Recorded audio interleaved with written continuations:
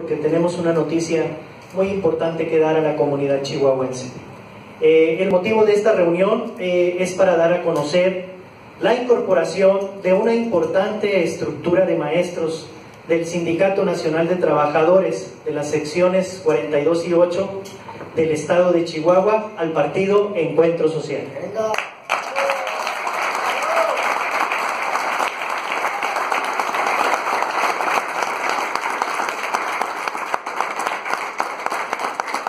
Y bueno, como todos ustedes saben, nosotros somos en nuestras siglas el PES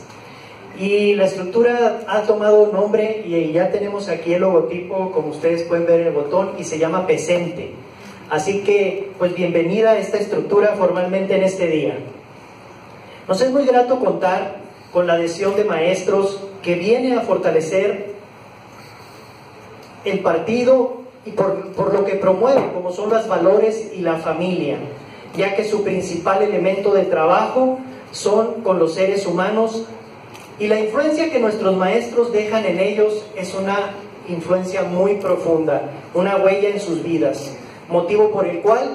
sentimos, nos sentimos contentos ya que cuenta con la esencia de lo que nuestro partido promueve, la familia, los valores, la calidad humana.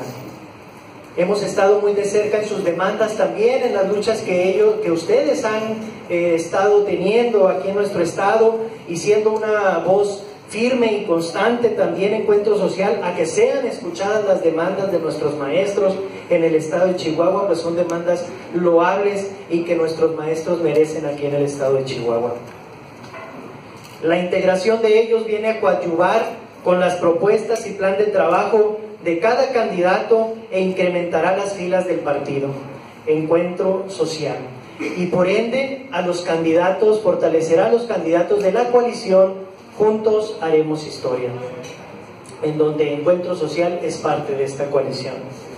Y bueno, en Encuentro Social creemos en una educación con valores y principios, sin duda alguna que nos eh, encontramos muy contentos y, parte de, de que se diera eh, esta adhesión es porque Encuentro Social tiene dentro de sus filas eh, maestros fundadores del partido desde hace más de 10 años, que trabajaron cuando esto era un sueño, cuando queríamos construir una organización política que cambiara el sistema político, que, que, la, gran parte de la ciudadanía ya no estamos conformes de tantas décadas, décadas y décadas en las cuales la manera de hacer política en nuestro país no nos ha llevado a un desarrollo y aparte pues la falta, lo contrario a los valores, ¿verdad? La corrupción y todo ello que nosotros no estamos de acuerdo. Entonces,